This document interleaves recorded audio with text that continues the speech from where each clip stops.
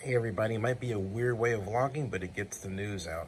I just got this from the White House press office. This was 29 minutes ago. It goes like this at approximately 3 p.m. BST. The U.S. and French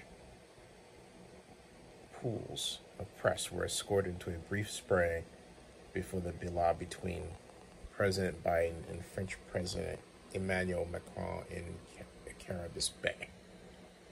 The two leaders are seated outside in chairs against an aquamarine backdrop with three tiny succulents on the small table between them.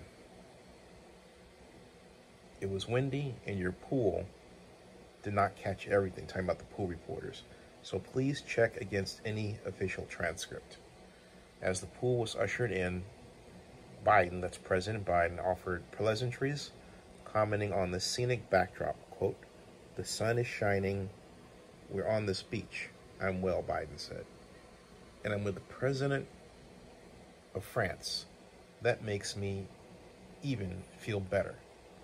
Biden added that he and Macron had enjoyed a good couple of days so far and that he'd had some time with President Macron to get to know him better. Macron, citing the challenges of the coronavirus pandemic and climate change, said that, quote, for all of these issues, what we need is cooperation. He added that it is, quote, great, unquote, to have a U.S. president who is willing to cooperate. The United States, Biden said, quote, the United States, I've said before, we're back, Biden said. The U.S. is back.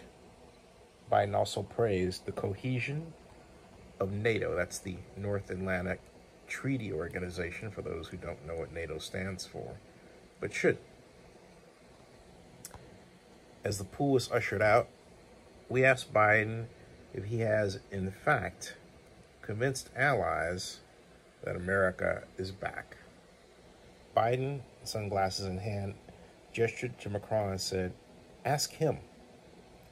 The pool then repeated the question, to which Macron replied, Definitely. Biden then ignored shouted questions about Putin and his upcoming summit in Geneva. Secretary of State Antony Blinken was also spotted in the back of the scrum. The pool was originally limited to just six members, but the United States team successfully pushed for the full press pool to join the spray, which your pool appreciated. And uh, that's the latest, but Biden got Macron to say the United States of America is back.